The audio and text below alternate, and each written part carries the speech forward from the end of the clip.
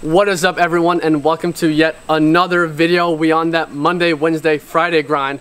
So if you can respect that hustle, thumbs up this video. But what we're talking good about plug. today is the three big changes in the Kindle publishing world in 2019. Now there are a few things, or there's actually a lot of things within publishing that remain constant, that were a certain way in 2013, that are a certain way in 2019, and will be a certain way for the next 5, 10, forever in publishing. Things like having a good eye-catching book cover, having a compelling book title, publishing books about topics that people actually care about, things like that.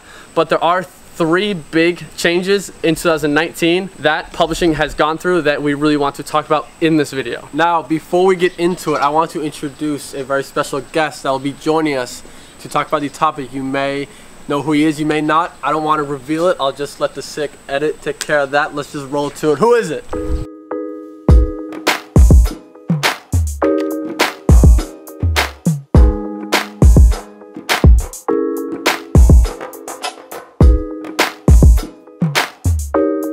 All right, guys, let's get into it. But before we do, I just want to just acknowledge this big black man sitting right here. I want to say flex. I don't give a don't fuck. understand. He's so big. He's How much so do you big weigh? in person. 210? Uh, like 207. 210. 207? How much did you, you how much did you weigh like a few years ago? Like Like 135? I was no man, come on, bro. we're putting up some before and after pictures. Before, and then we'll take a picture, an epic one to show off your muscles. Like it's fucked. He's the biggest guy I know. Okay, if you don't know who he is, he has his own YouTube channel as well about publishing. It's a publishing channel, right? It's not a He publishing says channel. It's not a publishing channel, but it's totally a publishing God, channel. I just talked Go about publishing subscri- on it I- a lot. We embrace our channel being a publishing channel right now. Right, so right now, Okay. right now it is a publishing channel. Semantics, but okay. All right, Okay, go fair enough. subscribe to his channel if you don't, if you haven't done so yet. Card right there for it. How do you guys do this? It's Magic. Now, real quick before we get into it, let's just give him a proper introduction. Tell about yourself, man.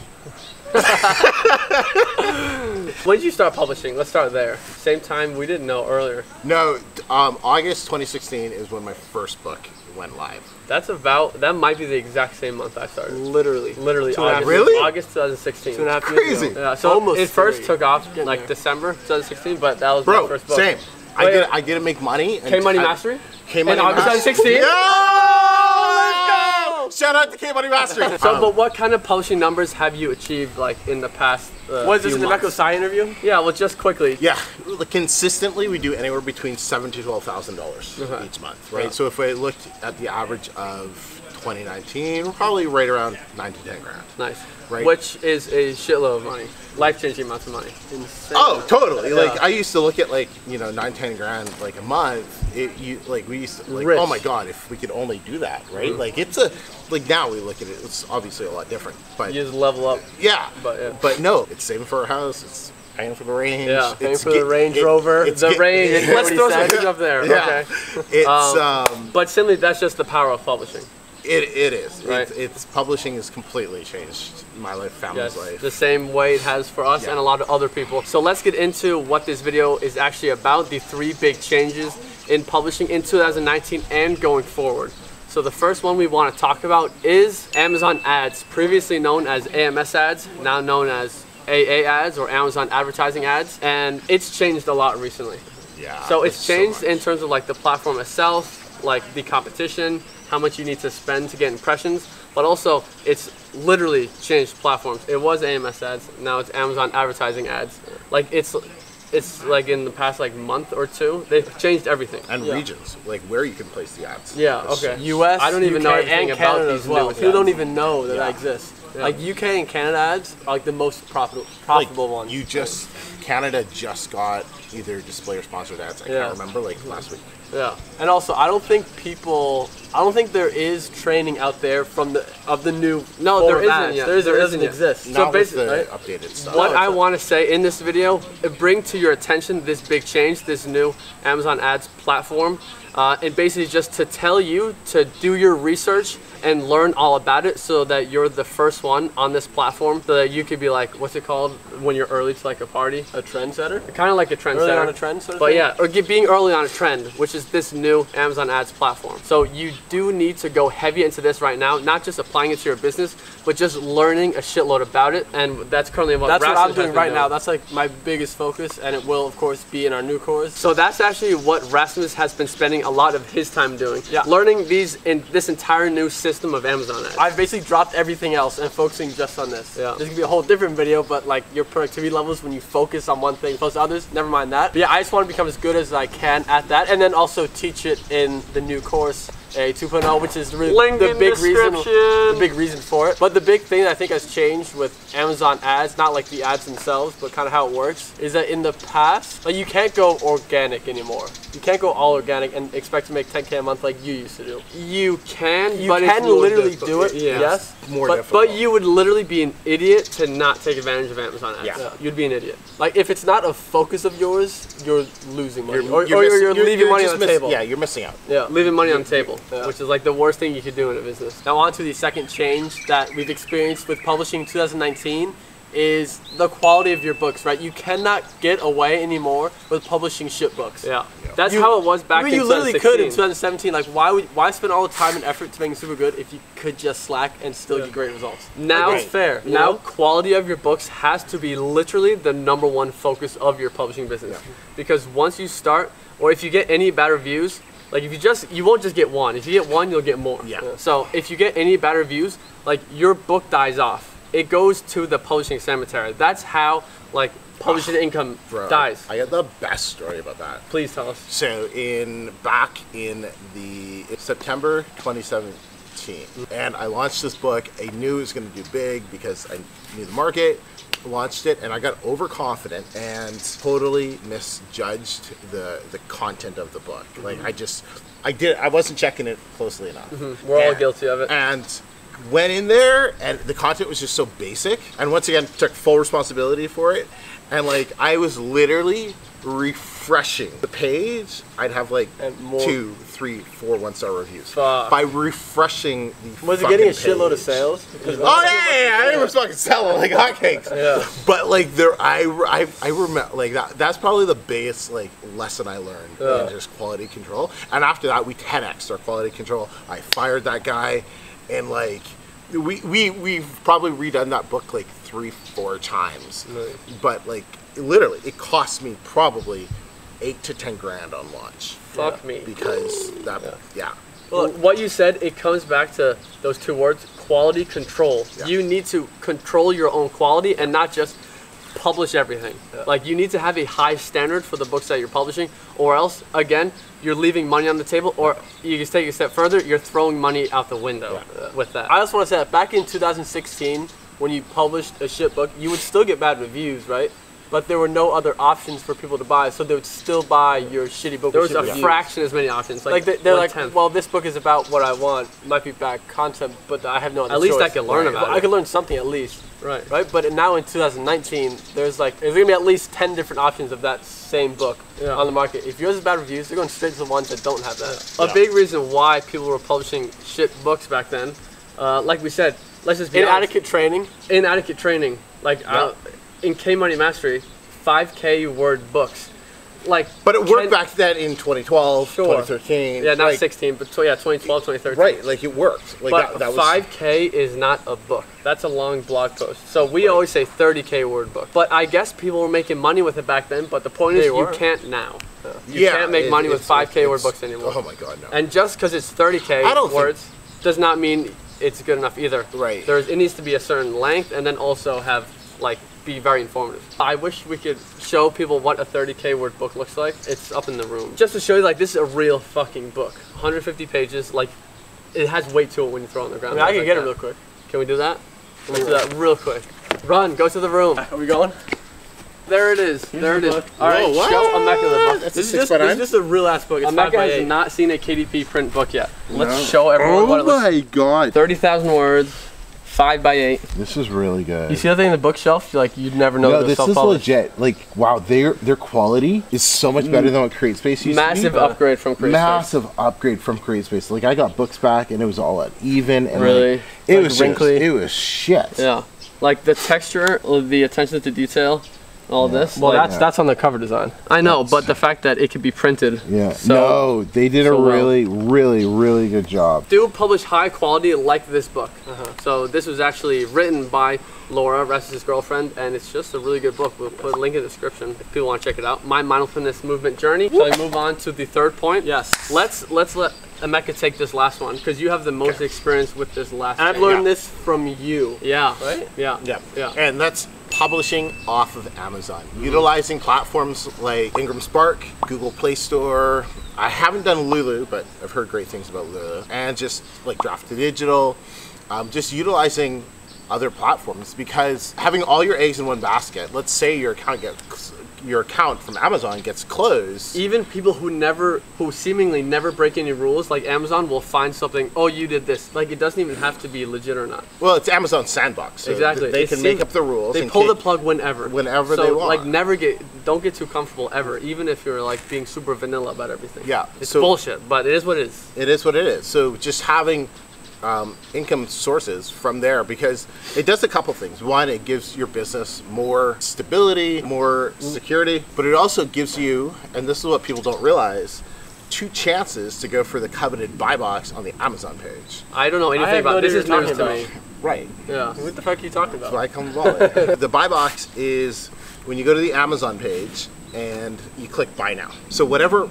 product is in that buy box is that's the buy box essentially. So it could be the one, it could be for your product, or it could be a third party seller. So because I have my books on different platforms, I have the there's multiple listings for my book uh, products. But get this, because Ingram Spark actually pays higher royalties than Amazon, I can have my book priced like a dollar or two dollars less than what it's priced on KDP.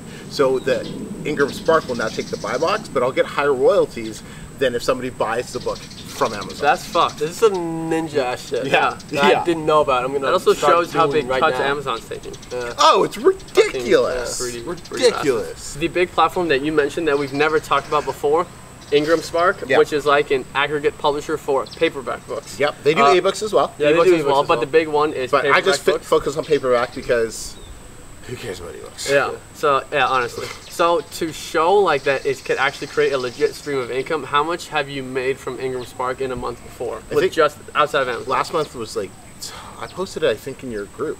It was like- 4,000? No, no, it was like just under four, like uh-huh. maybe That's three, four insane hundred or to something. Me. That's insane So- to me. Imagine Three adding that. Imagine adding hundred dollars. Yeah, like it's solid. Like Yeah. we're, we're happy with it. Yeah, and- I mean that's full time income. yeah. Oh my god, That's full time income. I know we don't realize People that. dream about making that. Yeah, Yeah. like, Like it's, in a business. And you just made that just from Ingram Spark, just Yeah. in throwing it up there. and it's like it's there's additional steps you have to do to get it on Ingram, and like it's a little trickier. But their customer support is about um, three hundred thousand times better than Amazon's Nice. Because you speak to them. Fuck Amazon Uh, customer support. yeah. so the great thing is we will be showing how to publish on Ingram Spark in the new updated course. Everything step by Everything. step. Like Yep. like there is nothing that that will be missing from there because it's about building the full publishing empire. The last point I just want to make about Ingram Spark real quick is right. We said fuck ebooks, which yes, ebooks don't make much money compared to the others. But many people also have their ebooks in the KDP Select program, for example, which means that you can't distribute them anywhere else, even if you wanted to. But with paperback, book, that does not apply to paperback books. There's no restrictions at all with those. You can sell them wherever you want. so, if, you, so if you're not selling them on Ingram Spark, for example, you're you're literally just you're literally leaving money on the table. all three reasons come back to that leaving money on the table. So all three of these big changes that we just talked about these are big changes that you need to keep up with in your business and also to realize that everything you're doing within publishing it's much more than just publishing books. It's actually running a publishing business. Like things like running ads worrying about like delivering the best product possible mm-hmm. these are not inherently characteristics of publishing these are characteristics of building and scaling a business. And that is one of the big reasons, or I would say the main reason why we came to Cancun last year. It had nothing to do with publishing whatsoever. Now, to quickly mention what Cancun is, you have a publishing event that you host in Cancun. Last year was the first one. Yep. We attended it. We It had changed my life literally. That's not an exaggeration. yeah, not at all. But we didn't come. It is a publishing event, technically. It's in the name. yeah. The reason we did go to Cancun last year was to one, we had an opportunity to speak, which was fucking awesome. First time ever. First time ever. But the biggest reason was honestly to meet all the people that we had been talking with on the internet for the past one to two years. Yeah. There were so many people. Like I built like most of my friends right now I've met through publishing. Like, Yes, uh, like yes. that might that's a little sad actually when you say it out loud. It's not And I, I, I, sad. had, I, I had never met some of my best friends in person before. So that was the reason we did come there, and that is why it fucking changed our lives. Completely changed our lives. That was like, if you know me and Rasmus, we never, ever, ever, ever bullshit anything. We always just state cold hard facts all the time. And the truth is, that weekend was one of the most life changing weekends of our entire lives, and also one of the most fun weekends Yeah. of our entire life. So what we did there, we launched our course for the first time. We did over fifty thousand dollars in sales in one day. We went jet skiing. We made tons of friends. We, I'll be honest, I was drunk for most of the four days. Yeah. I was, and I don't really drink much anymore. It's not because of that. But next Cancun, I will. Oh yeah, I'm, that's, Once a year, Yeah, yeah, yeah, yeah. Once a year, every Cancun, I'm gonna get drunk. But yeah, you're hosting the same Cancun publishing event this year in Cancun. The same September again. Is it the exact same week? No, it's a week before. Who cares? It's in September. yeah, it's- September. it's dates below. So we'll be there again. Like, there's no chance in hell we would ever miss that. Like, that was too good of a fucking weekend the first time. And last year there were how many people were there? 20, Yeah, just under 20. I 20? think 17. 17? Yeah. Yeah, we were a small group It of was a small group, man. Yeah, It was, but I became tight friends with almost everyone there. yeah, but it was Yeah. super fucking epic. Like, and what's the goal for this year? this year's 100. A hundred. Yeah. If we could get a hundred people there, That would be Oh a dream come true for me. I, I want to say one of my favorite things is meeting other people in the space, right? Yes. And it would just be dream come true to meet so many of the other people out The there that I talk to Yeah. and I hear from all the time, Yeah. right? and we will Fuck, be. I just want that. I just want this to be real, you know? we will be talking on stage again. Last time we were talking in front of 17 minus two, so 15 people. but it was still we were still shitting our pants. Yeah. Like it, I think we bombed it.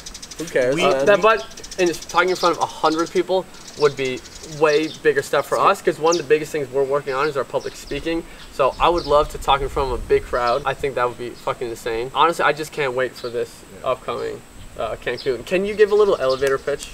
Do you have an elevator pitch? It's Because we want everyone viewing this video, everyone Yeah. who watches us, who's in publishing, to join us in Cancun and hang out for those four days and get drunk and do everything that we did last year. you said so much about it, but it's it's really it's designed for people to come in as publishers and then leave as business owners. It's designed to show you that publishing is so much bigger than what you think it is. Like you you sign up, you you, you buy products from us, that's great, but publishing can open up doors to your life that you never even knew were possible. And this event is going to show you exactly how to do that. So that's, that's like we have people coming in from from the UK, from India, from all over the states so far, but like yeah, there's literally people coming from all over the world already to this event. Yeah. And it's just it's it's it's it's, So it's what going you, to be insane. Yeah, what you said actually happened to us. Like we went into it super skeptical,